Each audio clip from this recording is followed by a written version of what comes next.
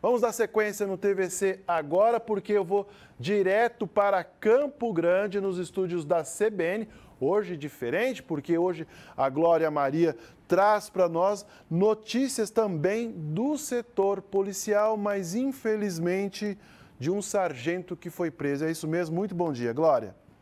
Bom dia, Israel. Bom dia a todos que nos acompanham. Exatamente, Israel. A Polícia Militar daqui do Mato Grosso do Sul deflagrou na manhã de hoje a Operação Magna Manu, que significa mão grande, né? Que é um termo utilizado para quem se apropria de algo que não lhe pertence. As investigações que resultaram na ação desta quarta-feira começaram no fim de julho deste ano, com a prisão de um homem pelos crimes de tráfico de drogas e receptação. Durante a ocorrência foram encontrados nove tabletes né, de pasta base de cocaína e surgiram aí alguns indícios da participação de policiais militares na prática dos crimes de peculato e tráfico de drogas. Eles né, estariam furtando drogas apreendidas pela própria polícia e revendendo. Olha só que absurdo, Israel.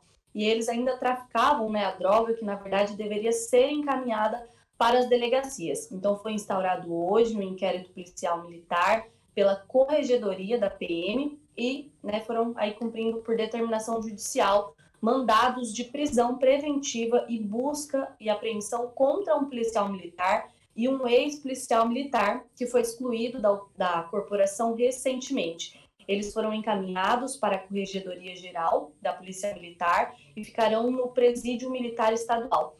A Polícia Militar ainda informou que as investigações vão continuar. E agora, Israel, nós acabamos aqui de receber uma informação lá da fronteira com a cidade de Corumbá. O Batalhão de Operações é, Policiais Especiais, o BOP, daqui do estado, precisou isolar uma rua na região central de Corumbá, de Corumbá perdão, para retirar um projétil de, de artilharia das Forças Armadas que estava em uma caixa entregue a um ferro velho. Era aí um, um projétil, né, uma bomba que estava bem velha, né, não, aparentemente não ia trazer nenhum risco à população, mas ainda assim a rua foi isolada. Eles é, entraram em contato com um grupo de bombas e explosivos daqui de Campo Grande e no final deu tudo certo. E foi parar num ferro velho, tá?